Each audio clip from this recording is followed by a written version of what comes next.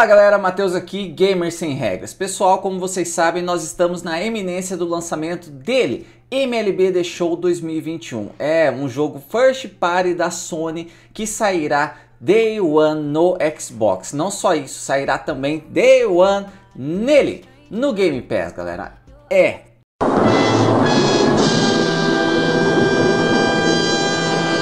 Mas o que é MLB The Show 2021, caso você não conheça? E muita gente não deve conhecer. Por quê? Porque se trata de um jogo de beisebol, cara, que com certeza não é um esporte popular no Brasil. Porém, no entanto, todavia, isso não foi motivo para que os cachistas não comemorassem, né? Não, pelo contrário, eles comemoraram muito essa vitória do Xbox. Uhul! Agora nós temos um jogo de beisebol, mas como será que se joga beisebol?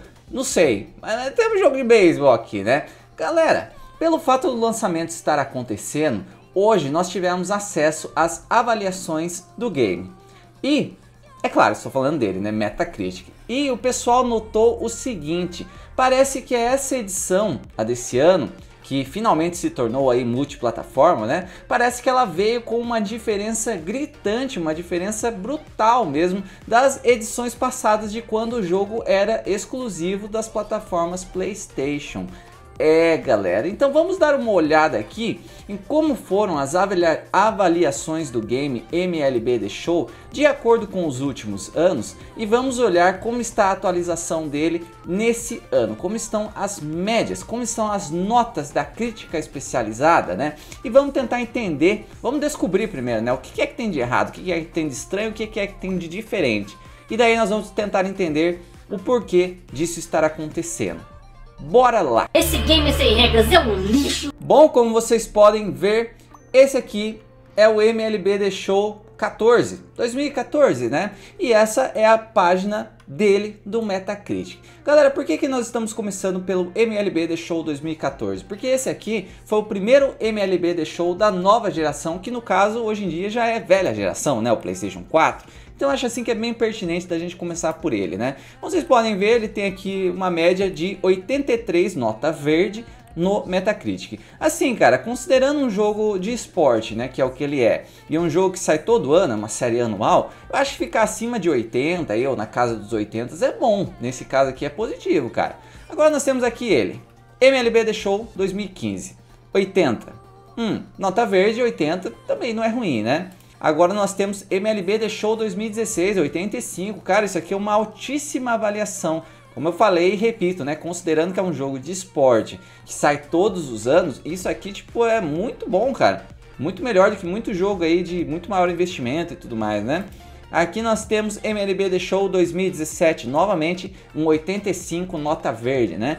Excelente, cara, muito bom mesmo, viu? Legal! MLB The Show 2018, nota 82 verde. É, nada mal também, né? Muito bom.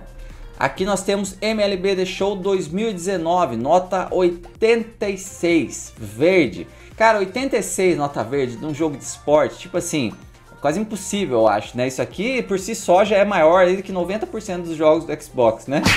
Fato, cara. Agora nós temos aqui o que mais? MLB The Show 2020, do ano passado, né? 83. Então notem, galera, que essa série aí nos últimos anos, quase uma década já, né? É, ela foi sempre historicamente bem avaliada na casa dos 80 nota verde. Isso é, tudo isso aqui que eu mostrei para vocês era enquanto o jogo era exclusivo do PlayStation, né? Agora, vamos dar uma olhadinha e como ele está esse ano, que ele finalmente chegou aos consoles Xbox. Os consoles Xbox que tem tipo assim uma maldição né, que dizem aí que se chama mídia sonista, né, mas que os jogos são meio mal avaliados lá e eles costumam vir com uma outra corzinha, né, galera? Será que... Não, eh, não, isso não deve ter acontecido com o MLB The Show 2021, não é mesmo? Aqui está, galera, nota 74. Amarelo!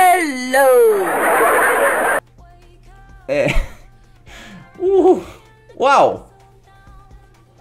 Eu não me importo com isso aqui, porque eu não vou jogar isso aqui, eu nem sei como é que se joga beisebol, né? Mas com certeza, galera, vocês têm que concordar comigo que isso aqui é uma coisa que saiu fora do ponto, né? Com certeza saiu fora do que a gente estava vendo ali no decorrer dos anos. Em outras palavras, o que está acontecendo, cara? O que foi que aconteceu? O que deu errado? Onde foi que nós erramos? Por que, que a edição desse ano está tão mal avaliada comparada às edições dos anos passados de quando o jogo era exclusivo do PlayStation? Galera, o pessoal na internet já saiu com algumas teorias e eu quero compartilhar com vocês e saber o que é que vocês pensam a respeito disso, né?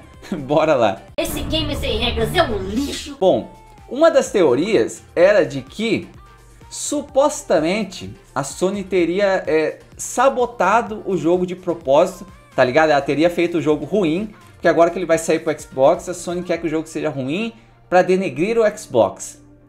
Essa teoria só pode ter sido criada por alguém maluco. Não! Eu não tô louco! Eu não tô louco! Outra teoria que eu vi o pessoal falando é o seguinte: olha, agora como o estúdio tem que desenvolver para várias plataformas e tal, talvez eles não tenham tido tempo assim de aprimorar tanto, né? Isso que acontece quando você desenvolve para muitas coisas e tal, você não tem muito tempo de caprichar. Isso aí me parece uma coisa muito mais plausível, né?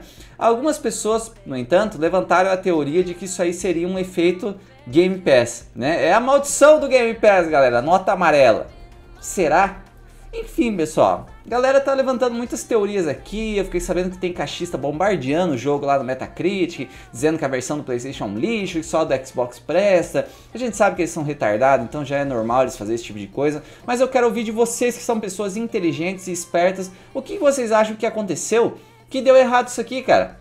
Será que a gente foi vítima aí, né? A Sony San Diego foi vítima da maldição do Xbox? A maldição amarela? A peste amarela, galera? O que será que aconteceu? Me digam aí nos comentários o que vocês pensam a respeito disso aqui. Se você gostou, deixa o like, compartilha, se inscreve. Se você não gostou, deixa o dislike, deixa o choro. Link do Apoia-se na descrição, caso queira ajudar o canal. Se torne membro, entra no nosso grupo do WhatsApp, me segue lá na Twitch também, tem gameplay todos os dias quase. É nóis, falou, fui!